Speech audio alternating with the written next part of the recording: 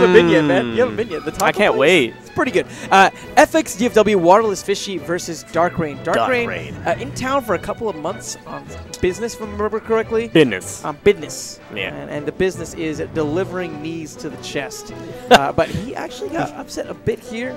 Boomstick coming out of Send him out. nowhere, sending him to the losers bracket. And they're both OGs too, so they go way back, like back 2004. Like they they've known each other and ran in the same circles, but you know, uh, Dark Rain moving out. But now you see Boom like Boom Soldier coming in here and just really running amok. He had tore through a lot of people, but uh, Dark Rain, he he's been showing a couple of other characters that he has. Not only his Falcon, he's been showing off his Marth. Dark Rain has a Marth. Yeah, it wasn't bad. it was pretty interesting.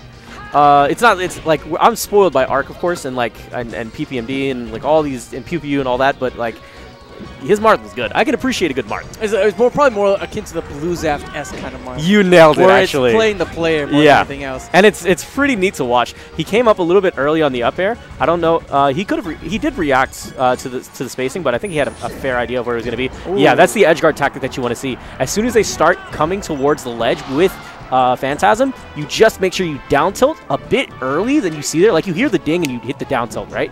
And as soon as you do that, they they hit the, the actual foot. They get popped up, and then you finish them off with fair. Rain tried to dash dance around WaterlessFishie's aggression, but did get caught by the jab.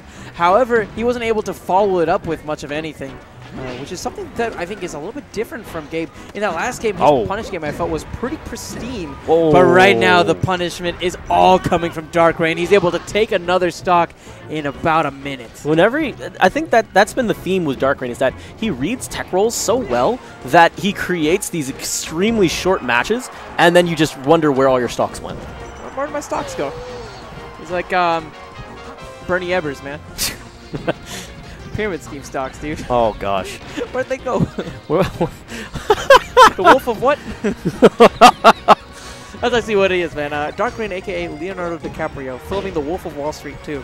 Walking away with all the money. dude, all the up airs. Oh, Oh. yo, this ain't Smash 4. Yeah, the axe kick uh, would have been cool to see, but uh, it's not going to be connecting anytime soon. It would have reset the situation for the offstage game, and he wouldn't have been afraid to go out there and potentially Oh, yeah. do another up air. Oh, he's fearless, man.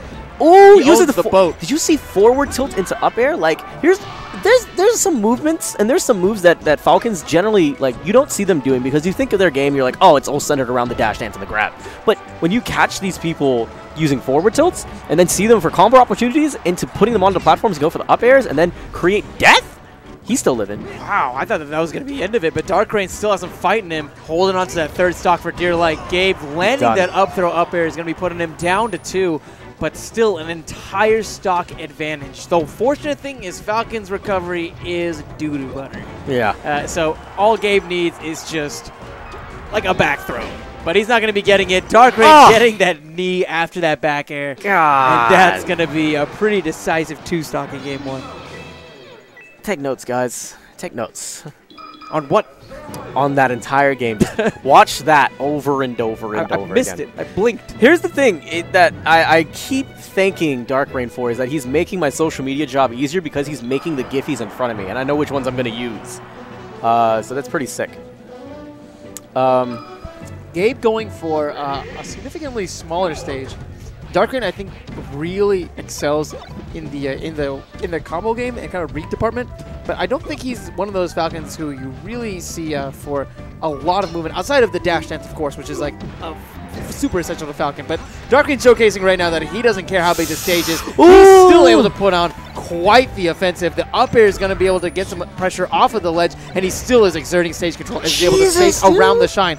Gabe, however, finally finding some aggression, but ends up getting eaten up by that nair from Dark Rain. The back air is going to be taking stock one in about 32 seconds. okay, that entire 30 seconds was nothing but them puffing out their chests and banging on them. Like, it's them showing I have dominance. I have a way that can I can kill you at any time I want.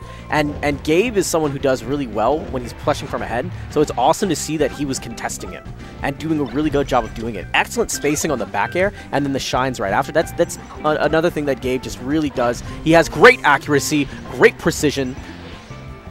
Oh, no punishment there though. I would have wanted to see uh, jump onto the stage Nair and then resets the situation. Did he just use dash attack? He just used dash attack. He tried to drop down Nair. Uh, he tried to drop down Fair and land on Randall, but he didn't get the knee out in time.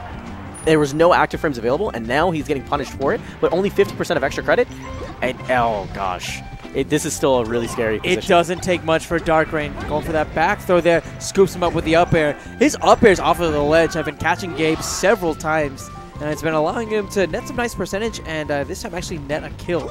because of the recovery game and and they're naturally already elevated he's just pretty much guiding it's like kendo right? You're just guiding the momentum onto the places that you want them to go. And then he's doing a great job of reacting to them. Pixel perfect knees him as he gets back on. Little taunt. He's feeling it. He's really feeling it. yeah he's definitely on So oh my goodness good knee he's been nailing these knees in neutral oh he tries to go for the offstage shenanigans with the stomp he would have done a great job of stuffing him out but he was a bit too far and overextended Dark Rain's done a great job also of using those uh, wall jumps. Uh, and planting those knees, of course. Planting those knees, of course. That was great. Dark green, man.